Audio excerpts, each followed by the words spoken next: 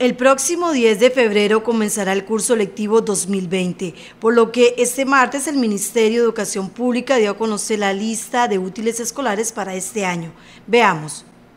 Un cuaderno por cada asignatura, cada uno de ellos de 100 hojas, un juego de geometría, un compás, una caja de lápiz de color, dos borradores de lápiz, también lápices, un tajador, una goma blanca y cinco bolígrafos, entre otros.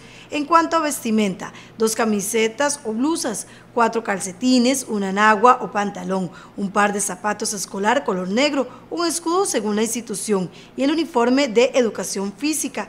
En el MEP también hacen un llamado a los padres de familia a revisar los útiles del año anterior para verificar cuáles se pueden reutilizar. Es muy importante que la familia revise los materiales del año anterior. Hay muchas cosas en buen estado que a sus hijos todavía les sirve.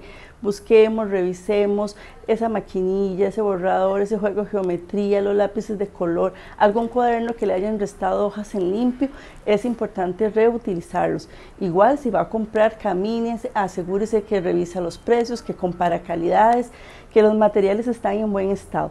Muy importante que la familia también inicie la planificación de los primeros días de clases, cómo nos vamos a organizar, cómo empezamos desde ya que los niños duerman temprano y se levanten temprano para que empiecen a acomodarse, los hábitos de higiene en la mañana, el desayuno, en fin, todo eso que hará posible que el curso lectivo 2020 sea todo un éxito. Los esperamos el 10 de febrero. La lista completa ya está disponible en el sitio web del Ministerio de Educación Pública, mep.go.cr slash curso-medio lectivo-medio 2020, donde puede ampliar los detalles sobre la misma.